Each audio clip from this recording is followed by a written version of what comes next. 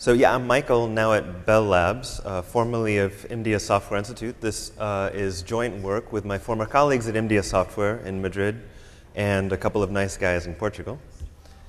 A very high level view of my talk is just, um, uh, this talk is about a program security property uh, called constant time. This is a property that we want our programs to satisfy.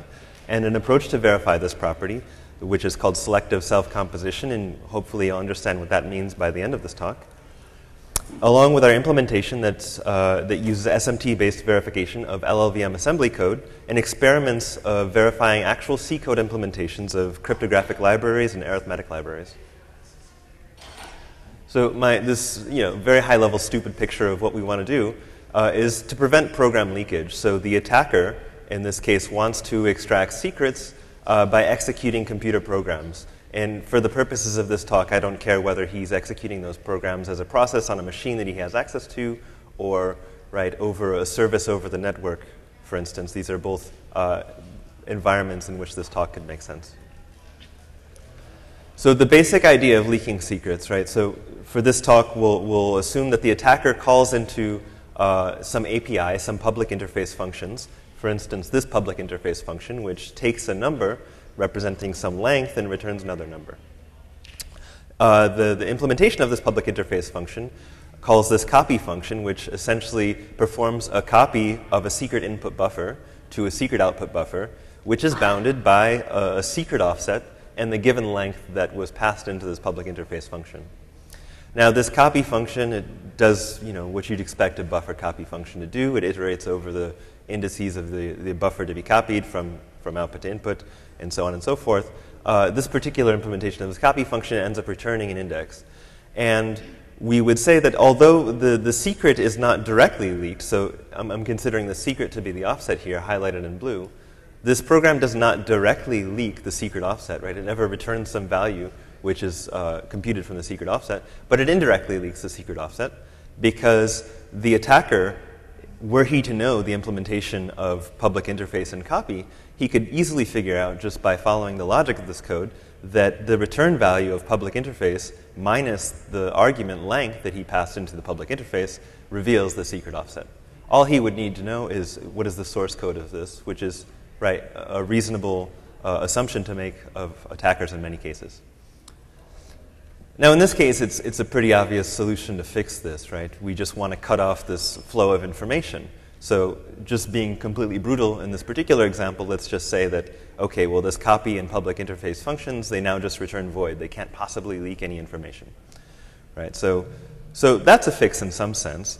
Um, but this program still isn't completely secure because besides just learning information about secrets from the return values of this public interface function, an attacker could potentially, with other assumptions, of course, could potentially uh, learn secret information by the timing of that operation, right? So he passes in a given argument, length equals 10, and he times how long it takes for this function to return. Now, suppose the attacker knows not only a little bit about uh, how this uh, function is implemented, but also a little bit about uh, what processor architecture this will be running on, right? Some information about the machine. He might be able to, right, compute an equation for the total time it should take for this function to execute based on, uh, right, the total time is equal to the number of cache hits times the time it takes for a cache hit on this particular processor, plus the number of cache misses times the time it takes for a miss, plus some base offset, just as a simple example. Um, given that he knows the value for the time it takes for a cache miss versus cache hit, et cetera, he might plug in and solve for h here based on the measured total time and compute that uh, the secret offset is in fact equal to h, which he'll compute to be 5, for instance. Now, maybe this equation is not so simple to compute for a single invocation over a function, especially when you're talking about a service over a network, but perhaps, right, um, given a large enough sample size, he can uh, have some statistical significance and actually uh, be able to leak secrets this way. And, and so if we look at why this particular code is broken, how it can leak a secret even though it's not returning any value, well, let's look at the, how this function is written. There's a for loop here that iterates over the, the indices of the buffer, uh, and then there's a branch checking if we're in bounds of the, the part of the buffer that we want copied. So uh, it says if i is greater than equal offset or i is less than offset plus length. And if we look at how this uh, will be compiled in x86, for instance, it's not important that this is x86, it could be anything. But at the end, we're going to have some comparison and some jump, right? And what the jump is going to do on the machine is to fetch the next instruction. So if we look at what happens in terms of the success of this jump, in, in terms of the loop index i, right, as i equals 0, 1, 2, the jump is going to skip the if branch and go straight to the, to the loop end until i is equal to offset.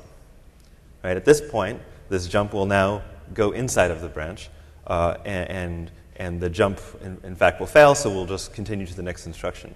Now, in terms of what's happening with loading the instructions from the cache, we, we expect, right, the, the first, maybe not zero, but at least one, two, three, right, the first indices to be cache hits, and finally, when we get to offset, there to be a cache miss because we hadn't branched to that location before. So again, just based on right timing, and what the attacker, based on the timing, the source code, and, and processor cache cost, uh, the attacker could feasibly here compute uh, the offset just based on the branching behavior of this program. But software engineers, especially people writing security critical code, are pretty aware of this kind of thing. And so, right, my talk is about constant time, but here I'll just talk about an intermediate property to get there called constant path, which I'm not sure if this exists in nature, but this is, we'll just call it that for now.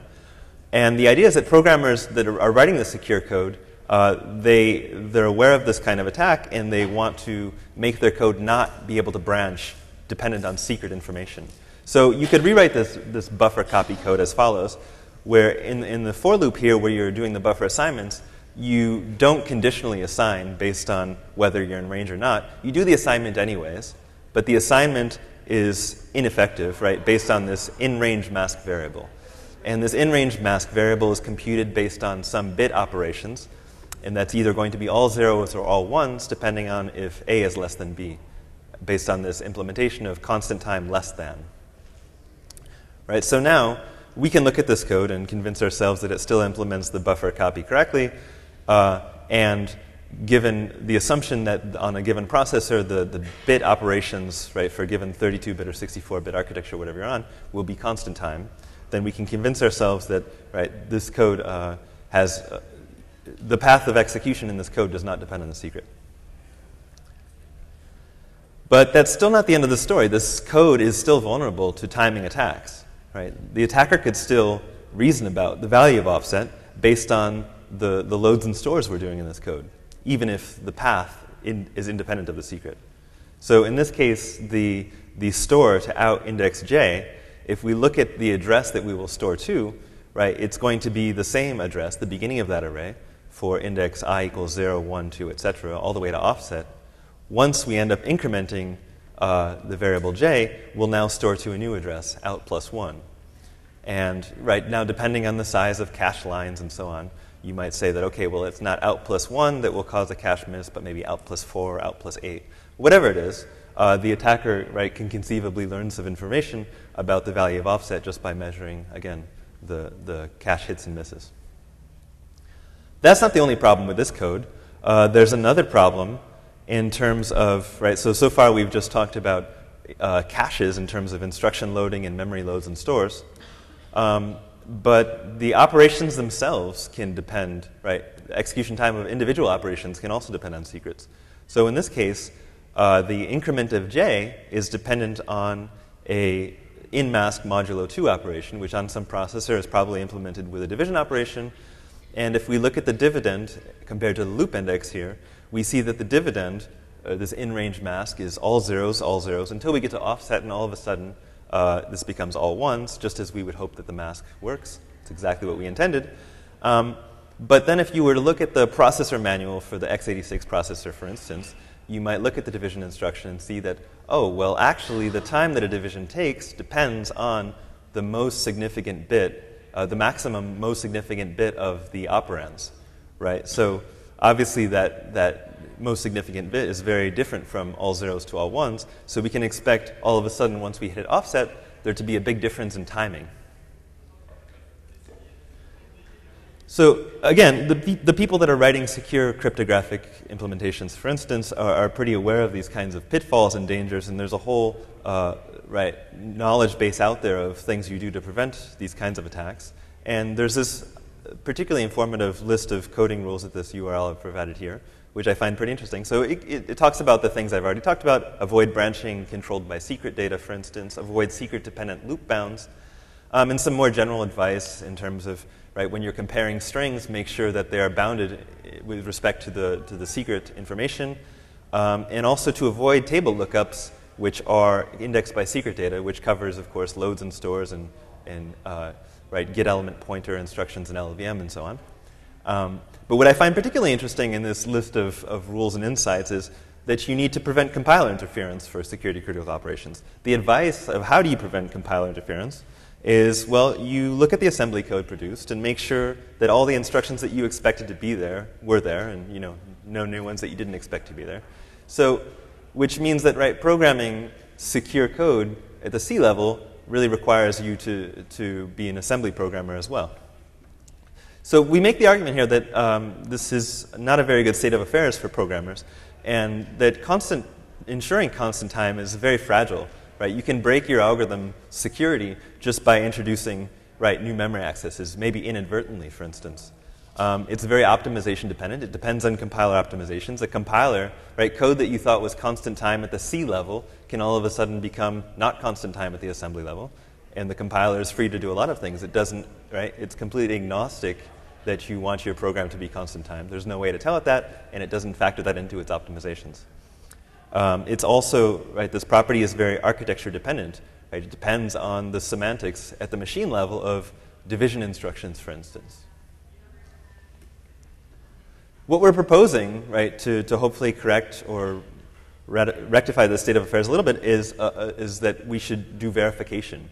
And our approach to verification looks a little bit like this. So we start with an annotated program, right? In reasoning about constant time, uh, the, right, intuitively we have to deal with uh, differentiating secret information from public information. So we'll assume that our program is annotated. The programmer has to say which uh, pieces of memory, which variables are public, information versus what is secret information. So our program will be annotated in that way.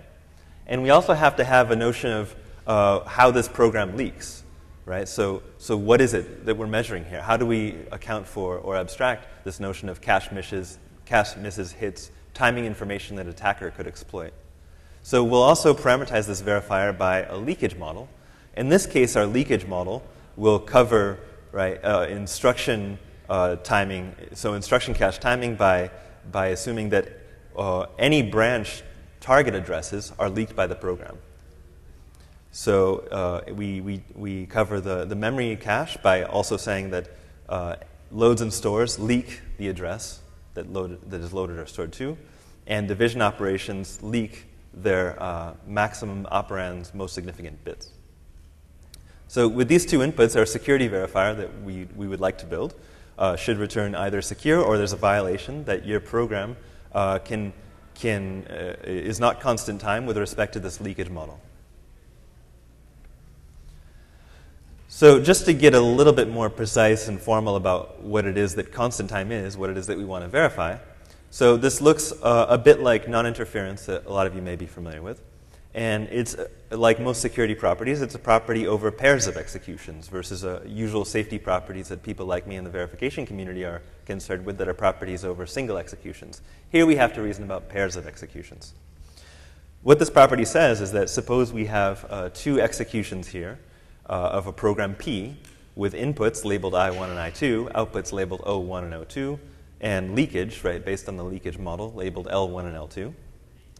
What it says is that whenever I execute this program with identical inputs, that is, uh, when the public parts of inputs are identical, the secrets can be different, and identical public outputs, then the leakage has to be identical. So that's the definition that we use of constant time. And we can see what a violation of constant time is here. If we look at public inputs, right, that are identical, input value in both cases is zero. And we have different secrets. So on the left-hand side, the, the secret is an odd number. On the right-hand side, it's an even number. The program then will compute some function of f, uh, uh, some function f over the input and the secret, uh, and, and, release that value as a public output.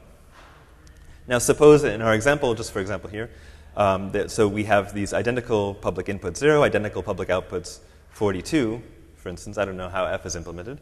But suppose that the implementation of f, now, right, uh, has different cache behavior. So I could have uh, written leakage here in terms of uh, memory addresses or branch addresses. I'm just writing it in terms of cache hits and misses. Um, so this would be a violation because we have, although the same public inputs and outputs, a different sequence of, of cache hits and misses. Right, so to verify uh, a property over pairs of executions, like technically this, we would call this a two safety property versus a one safety property. To verify this, uh, we basically want to reduce it to something we know how to do better, which is safety verification.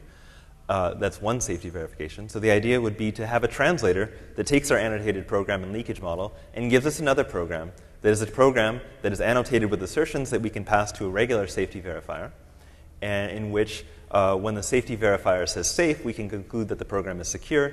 And when the safety verifier says assertion violation, we can conclude that the program has a security violation, in particular, a, a violation of the constant time according to our leakage model. Now, uh, there are existing approaches to how do we reason about right executions, pairs of executions of a given program uh, in terms of single executions of a given program. Well, the, the, the known technique in the literature so far is self-composition. And the idea is basically just to run two copies of the program with right, copies of the entire memory space and so on, uh, and, dif and, and, differentiate the, the, the, inputs so that the public parts are equal and the secret parts are not, and, and, and compare then if they have the same inputs and same outputs, if I execute one after the other, that the leakage is the same. Right, so this is just a rudimentary diagram of what we're doing, executing one program after the other. And just to illustrate how this would look in a very simple program, because we're designing a translator here, um, right? So I have now this program on the left, which has uh, public input value x, output value y, is branching on the secret and writing to y accordingly. Now the translation that I just described, right, we would create two copies of the entire memory. So in this case, we're just in a simple case where there's just program variables x and y. So we make copies x prime and y prime, and of course secret prime as well. Uh, we assume initially that the public inputs in both executions, x and x prime, are equal. Finally, we, we assume that the public outputs are equal. And then we verify that the leakage of running these two programs. So in the middle, we've run the first program over unprimed variables, followed by the same program over primed variables. We verify then that uh, both copies of that program uh, have the same leakage, assuming the public inputs and outputs are equal. So this is already, right, we can convince ourselves pretty easily that this will be a sound and complete method to verify uh, this two safety property that we talked about called constant time. However, this, as I've described it so far, is pretty hard for verifiers to handle. And to see why, let's just consider a, a simple program here. Well, it's not that simple, but it, it does a simple thing. It's computing a Fibonacci uh, sequence. So this is an iterative computation of Fibonacci with variables uh, f, g, and n. And if we just apply our simple translation here, we'll get one copy of the Fibonacci iterative procedure uh, followed by another copy. And we'll have, again, the assumptions and assertions we've put in there for the constant time property. But at the end of the day, what a verifier has to reason about here is, right, the verifier has to come up with invariants to, to prove that this program cannot violate its assertion. What that entails is that the verifier ultimately has to come up with a relation at every point in this program, at every iteration of each loop. How are f and f prime related? Now, I shouldn't have to convince you that uh, this is a hard problem for verifiers. I even would say it's a hard problem for human beings to write down these invariants. So given, right, so, so the idea is that that's not very scalable. scalable. It's very hard for uh, verifiers to reason about uh, programs besides right, very simple ones. Um, but there's, there are other approaches to computing these kinds of uh, products of programs that we can consider. And the one we'll start considering here is called cross product. And the idea is instead of executing an entire program, one, uh, an entire copy of the program one after the other, the idea is that to, to allow the verifier to be able to reason about the intermediate steps of the program, we'll interleave the steps of the two copies of the programs. So instead of executing the entire copy one followed by entire copy two, we execute the first instruction of the first copy, the first instruction of the second copy, second instruction of the first copy, etc., etc. We interleave them in lockstep. So what that implies, though, is that the, the control flow of both executions of the program are in sync. Right? If I wanted to compute the cross product of this program on the left, the same program again, I would have right just one while loop, where in the while loop we interleave the individual assignments of each copy, and, and just one branch here where where right I have x equals one followed by x prime equals one, just how do you'd expect to interleave those instructions. Um, so the implication is that the, the two copies of the program are following the same control flow.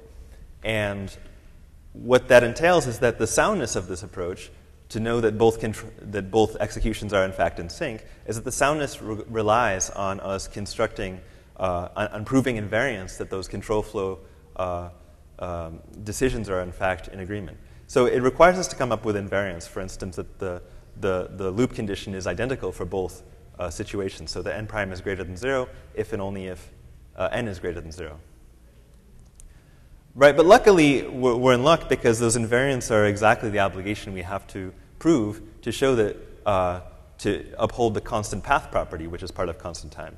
Right, so we need to know anyways that the branch uh, decisions, for instance, weren't made on secrets. And I'm running a little low on time now, so I'll start to gloss over some of the details.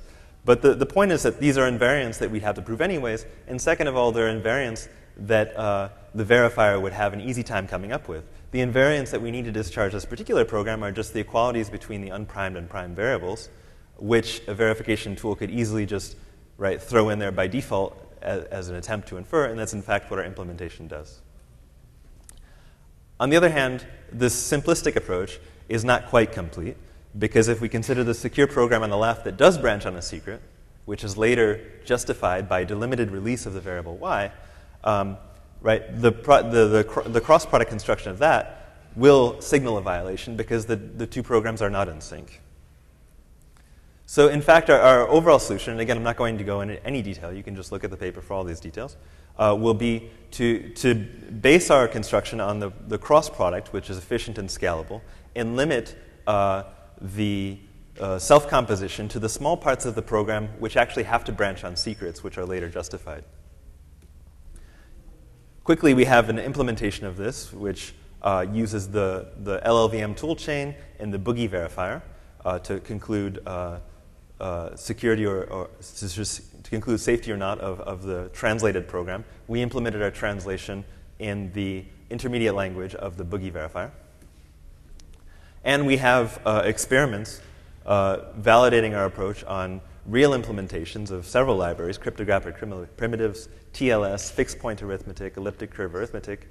Um, and we verified all of these uh, examples to be correct. And we've also uh, pointed out uh, known flaws in previous versions of these uh, that were not constant time. And right, I don't have time to go into this, but you know, there's been a plethora of related tools uh, as far as we know, our tool is the first to deal with both uh, public the, the, differentiation of public inputs and outputs, and so uh, sorry, of public and, and, private inputs, and the declassification of outputs, and as both sound and complete. And um, a quick word about uh, right, we're doing all this at the LLVM assembly, whereas initially I talked about there's certain things you'd want to know about processor architecture, like the specification of whether division instruction uh, takes a constant amount of time or not. So there's some trade-offs here, obviously. Uh, we're, we, in reasoning about LLVM assembly code, we're, we're, we're, leveraging some generality. It's not tied to a specific processor architecture, and convenience because there's a lot of nice infrastructure there to leverage. Um, it's also uh, right partially sound in terms of certain kinds of uh, cache timing attacks, in terms of constant path, uh, because the optimized LLVM assembly code just before lowering to x86, for instance, will have the same basic block structure and the same basic memory accesses. The difference, of course, will be architecture-specific modeling in terms of uh, how to model right, certain uh, arithmetic instructions and floating point instructions, etc. So in conclusion, uh, the result that I've talked about today is how to verify the constant time property uh, using selective self-composition and then just off-the-shelf verification tools a simple prototype that we've implemented and showed effective for uh, existing secure constant time C code implementations and right, with the basic limitation of architecture specific modeling. So thank you.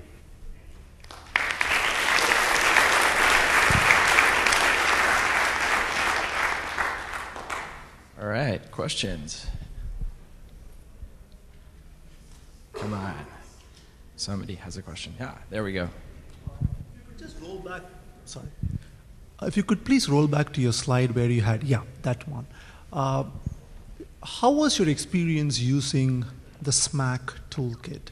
Uh, I, I, guess what I'm trying to understand here is the implementation is typically done in C uh, for all these cryptographic functions. Mm-hmm. Uh, and somehow SMACK converts that into an intermediate language that can be digested by Boogie.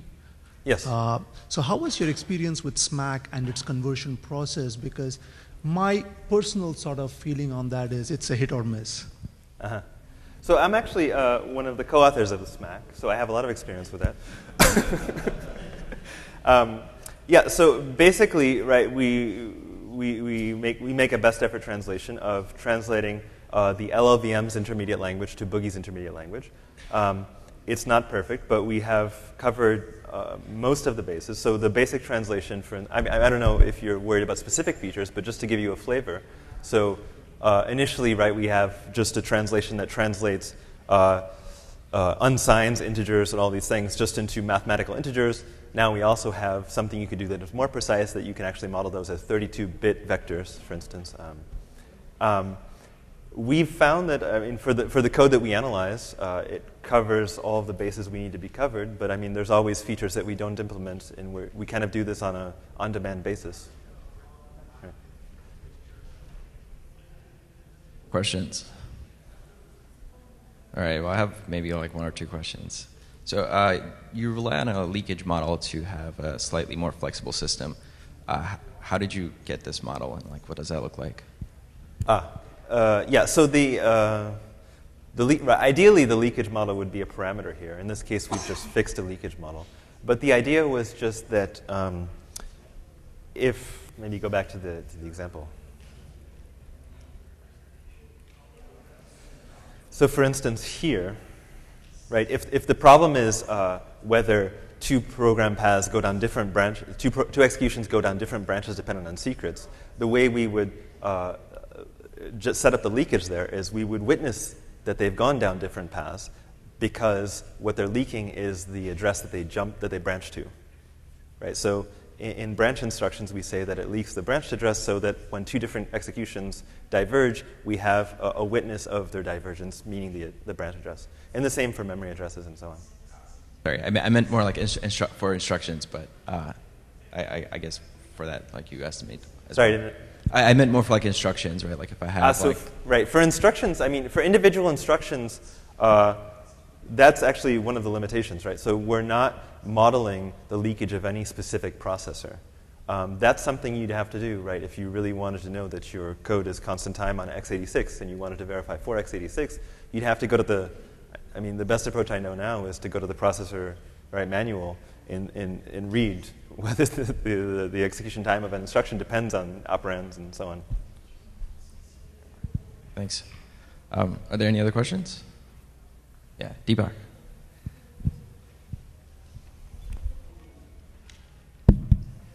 So, in this hybrid construction um, or this hybrid product, at some point you must know um, which control flow points are actually secret dependent and which are not. Is that correct, or did I get this wrong? That is correct, yeah. So what we've done right now, it, it, most of the code that we've analyzed in those libraries uh, never needs this, um, okay. but there are one or two examples that do. And in that case, we have just gone in and identified manually what are those control points which do depend right, on, on later declassification. Um, I see. In general, you could do uh, right, an approach which automatically uh, tries the, the, the, the proof with just the cross product. If it doesn't work, then try to identify right, where these divergences are and so on. So maybe there's some CEGAR kind of loop you can do there to, to have more automation. At the moment, we're just doing it manually. Okay, thanks. Mm-hmm.